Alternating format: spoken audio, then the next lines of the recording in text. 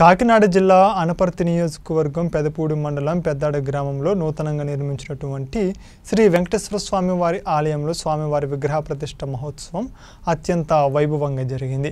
ఈ ఆలయంలో మూలవిరాట్లతో పాటు ఆలయం అంతా అద్భుతమైన శిల్పకళ ఉట్టిపడేలా రాతితో నిర్మాణం గావించారు.